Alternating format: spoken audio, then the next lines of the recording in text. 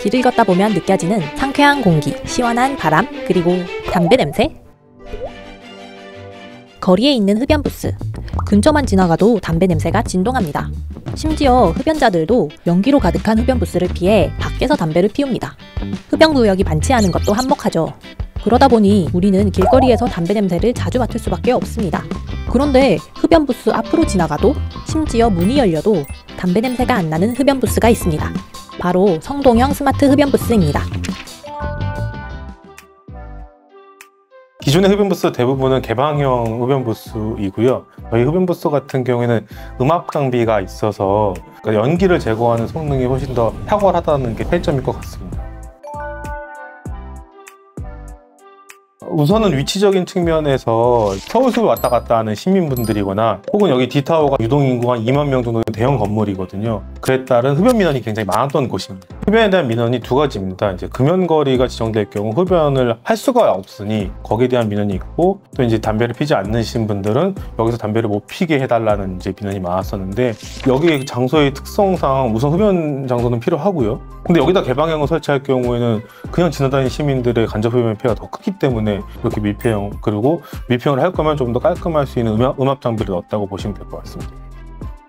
이 흡연 부스에는 음압 장비 말고도 낯선 장비가 있는데요. 바로 이 잿더리입니다. 불이 붙은 담배꽁초에 불을 꺼주고 모은 꽁초들을 파쇄해 재활용하기도 하죠. 그래서 잿더리가 일반 담배와 전자담배용으로 나뉘어 있습니다. 이렇게 좋아 보이는데 불편한 점이 있을까요? 어, 농담으로는 우선 이제 다른 기업들이 다섯 군데 큰 기업이 있거든요. 이제 기업 간 정보가 누설될 수 있다.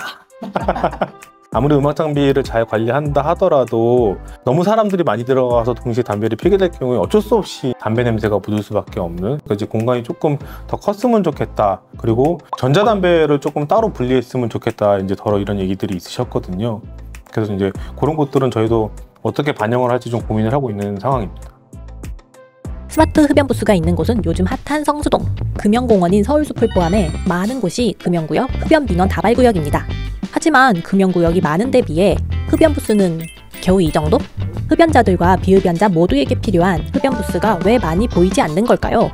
이게 가장 어려운 부분인데요. 사실 여기에 흡연 부스를 설치하기까지 대략 2년 반, 한 3년 정도의 시간이 걸렸습니다. 흡연 부스를 저희가 예산이 있다고 해서 그냥 설치할 수 있는 것도 아니고 공공부지라고 해서 그냥 설치할 수 있는 것도 아니고 우선은 선행적으로 금연거리 지정이 필요합니다. 네. 금연거리가 지정이 돼야 그 위에 흡연 부스를 설치할 수 있게끔 되어 있거든요.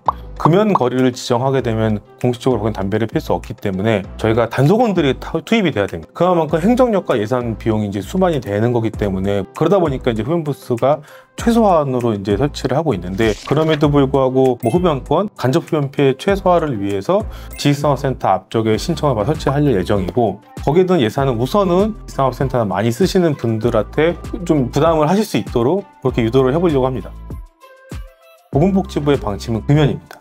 사람들한테 담배 피지 말라 그러면 안 피나요? 어떤 변화를 일으키려면 변화할 수 있는 방향으로 유도를 해야 되는데 그냥 피지 말아라 그냥 안 된다가 아니라 어느 정도 있게끔 그런 것들을 좀 잘 보장하는 것도 그 반대로 금연권을 더 잘 보장하는 방안이고 전반적으로는 어떤 사회혁신 변화를 일으키기 위해서는 조금 더 사람들이 할 수 있는 방향으로 뭐 흡연권을 존중하는 거라고 할 수도 있는 거고 그 반대로는 사실은 금연자의 권리를 더 지켜주는 거의 방식일 수도 있어서 저희 흡연부스가 그런 사례이다라고 보시면 될 것 같습니다.